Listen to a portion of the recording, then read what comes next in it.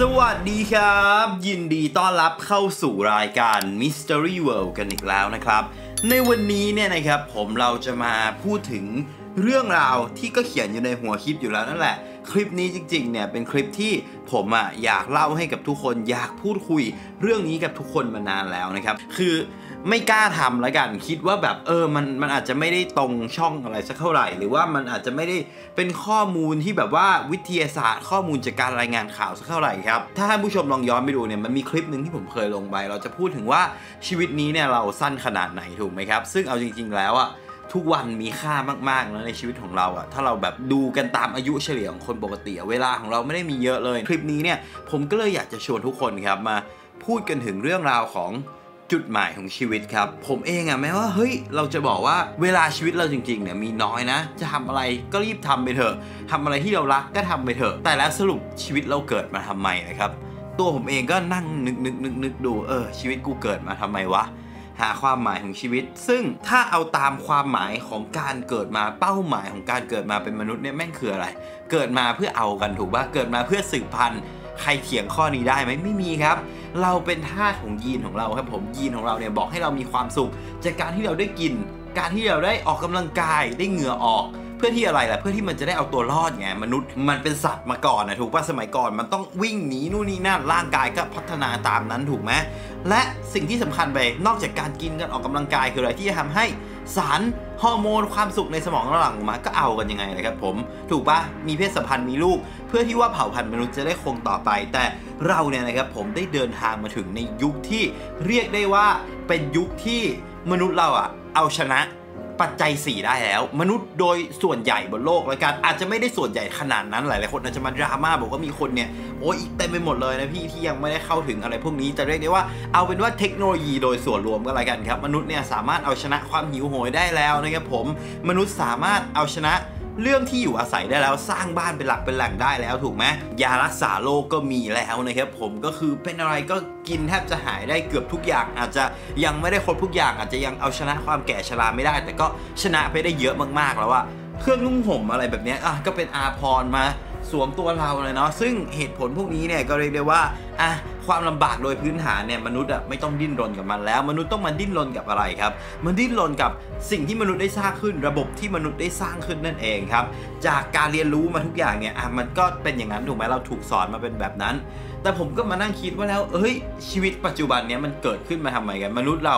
อยู่ไปทำไมวะทำไมเราต้องสืบพันธุ์ทำไมเราต้องมีเผ่าพันธุ์ตัวเองต่อไป เมื่อมนุษย์เนี่ยไม่ต้องทรมานกับไอ้พวกเรื่องการเอาตัวรอดแล้วว่าเราเริ่มได้ใช้สมองเนี่ยคิดในเรื่องอื่น เข้าใจใน concept อื่นมากขึ้นเรื่อยๆถูกไหมเราเข้าใจแล้วว่าเฮ้ยไอ้นู่นไอ้นี่มันเกิดจากอะไร หรือว่าเรามีโอกาสได้ทำตามหัวใจมากขึ้นแต่แล้วนะครับผมโอ้โห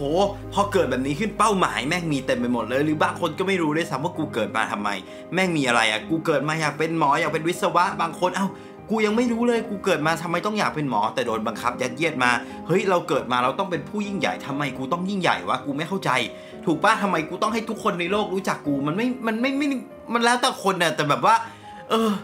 ผมเองก็เหนื่อยหน่ายกับเรื่องนี้มากๆเลยนะ เพราะผมเองอะคุ้นคิดมันบ่อยมากๆครับ แล้วผมก็คิดนะว่าแบบเฮ้ยเราอะอยากจะเกิดมา เพื่อให้ความรู้กับคนบนโลก เออ อันนี้ก็เป็นหนึ่งในเป้าหมาย แต่หลังจากนั้น มันเปลี่ยนเว้ยแม่งเป็นเป้าหมายที่เปลี่ยนได้ตลอดและเป้าหมายของเรานี่อาจจะไม่เปลี่ยนก็ได้มันก็แล้วแต่คนอีกก็ก็ไม่รู้เหมือนกันครับแต่แต่วันนี้เราจะมารีวิวเป้าหมายโดย common goal ของทุกคนทั่วไปที่เราถูกสอนกันมาก็แล้วกันแล้วเรามาลองวิเคราะห์กันหน่อยดีกว่าว่าเฮ้ยไอสิ่งที่เขาบอกว่ามันเป็นเป้าหมายเนี่ยมันเป็นเป้าหมายจริงๆเหรอคลิปนี้อาจจะวนไปวนมานิดหน่อยนะแต่แบบว่า เออมันมันเป็นการพูดที่แบบออกมาจากใจผมจริงๆอะแบบ เฮ้ยกูต้องเกิดมารวยเฮ้ยทำไมต้องเกิดมารวยวะเราแค่มีตังค์พอ ให้เรามีความสุขก็พอแล้วแบบไม่ต้องแบบไอ้เหี้ยรวยล้นฟ้าอะถูกไหมคือรวยมันก็ไม่ใช่เรื่องแย่ครับ แต่หมายถึงว่าเราต้องรวยไปถึงเท่าไหร่กัน เราต้องขยันถึงเท่าไหร่กัน เราต้องเหนื่อยถึงเท่าไหร่กันคนที่จะรวยขึ้นมาเนี่ย เรารวยขึ้นมาเพื่ออะไรไขว่คว้าความสุขเปล่าวะถูกไหมรวยมันเหมือนบอกเอ้ยกูซื้อความสุขได้ ซึ่งถามว่าซื้อได้ไหมมันก็คงซื้อได้แค่ชั่วคราวแหละเพราะว่า เวลาเรามีความสุขก็คือสารในสมองหลั่งออกมาแล้วก็ซื้ออะไรบางอย่างที่ทำให้สารเราหลั่งออกมาได้อะเนี่ยก็ว่าไป หรือทำไมเราต้องเป็นแบบหมอเพราะอะไรเพราะเขาบอกว่าเงินเดือนมันเยอะถูกไหมโอ้โหนี่แหละก็นำไปสู่รวยอีกแล้วทำไมเราต้องมีครอบครัว เฮ้ยไม่เห็นจะเป็นเลยปะวะกูอยู่คนเดียวก็ได้มีคนอยู่คนเดียวบนโลกแล้วยิ่งใหญ่ก็มีมากมาย 3 นะครับผมเป้าหมายต่อไปคืออะไร เฮ้ย บางคนอาจจะอยากยิ่งใหญ่อยากดัง ซึ่งก็ไม่เข้าใจเหมือนกันว่าทำไมนะครับ ตัวผมเองถามว่าเคยมีความรู้สึกนั้นไหม ก็มีนะพูดตรงๆ พูดกันแบบตรงๆเลย แบบเออกูก็อยากแบบเฮียอยากอยากดังบ้างว่ะ แต่พอแบบเฮ้ยเราเริ่มมีคนติดตามแล้ว เออเรารู้สึกว่าเรารักชีวิตส่วนตัวของเรานะเว้ย แล้วเป้าหมายอีกอันหนึ่งอะที่แบบโอ้ยอดฮิตเลยไปเที่ยวรอบโลกครับ ซึ่งอันนี้เข้าใจได้ว่าแบบเฮ้ยเราเกิดมาทั้งทีเนี่ยเราก็อยากจะไปดูหลายๆที่ให้ครบถูกไหม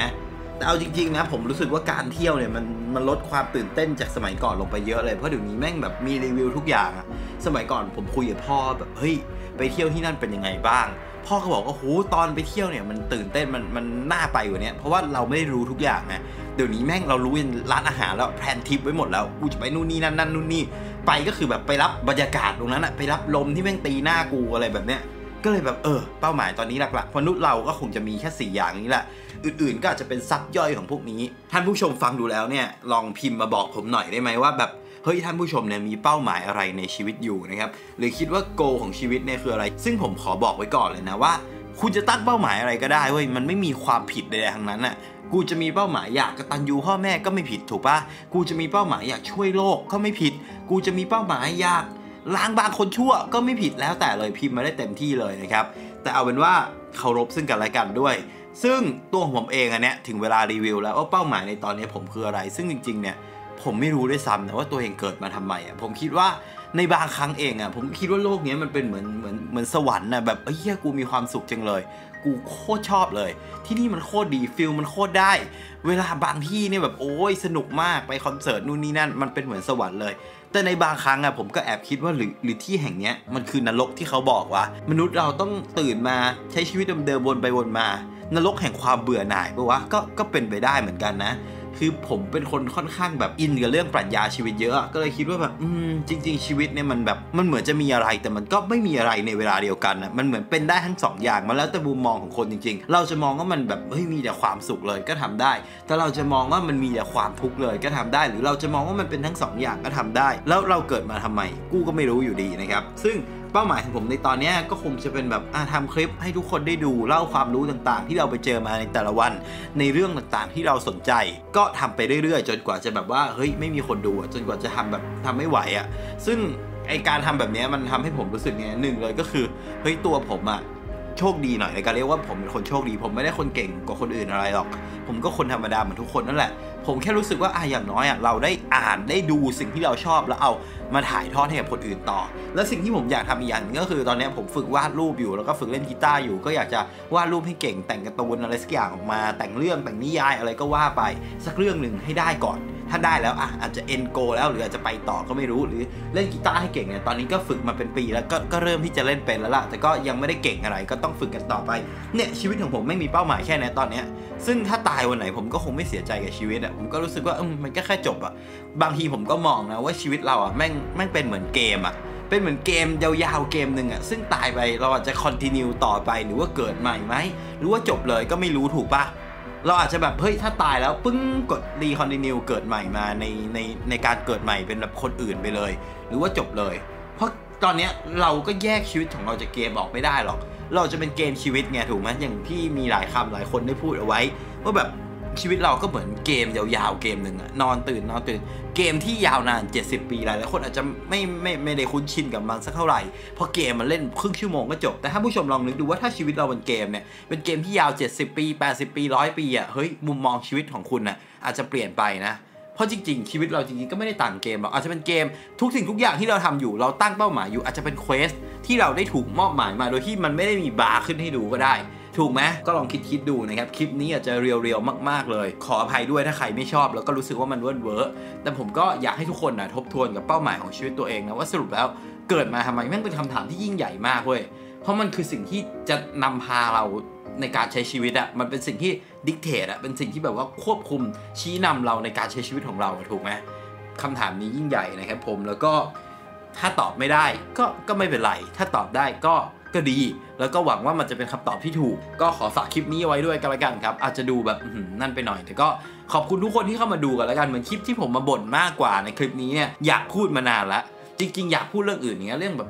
การกระตันยูเรื่องการเคารพผู้ใหญ่เรื่องนู้นเรื่องนี้เรื่องนั้นโอ้เต็มไปหมดเลยครับ ที่เราจะต้องมาพูดถึงกันครับแต่เรียกได้ว่าในอนาคตไว้ ถ้ามีโอกาสเนี่ยเราจะเอามาคุยกันละกันนะครับผมแต่เรียกได้ว่าในวันนี้ก็คงจะยาวมากพอแล้วยังไงในวันนี้นะครับผมกับผมขอลาไปก่อนไว้เจอกันในคลิปหน้าหวังว่าคลิปนี้นั้น อาจจะเป็นประโยชน์สักเล็กน้อยให้ทุกคนเนี่ยผมก็ดีใจมากๆแล้วยังไงก็อย่าลืมพิมพ์เป้าหมายของตัวเอง มาในคอมเมนต์ได้ครับ เดี๋ยวผมจะไปนั่งอ่าน อาจจะไม่ได้ตอบคอมเมนต์แต่ก็เรียกได้ว่าผมเป็นคนชอบนั่งอ่านคอมเมนต์อยู่แล้ว ก็จะเลื่อนเลื่อนอ่านของผมเองนั่นแหละก็หวังว่าทุกคนจะมีเป้าหมายที่ดีสำหรับตัวเองนะครับผม โอเคครับ บ๊ายบาย สวัสดีครับ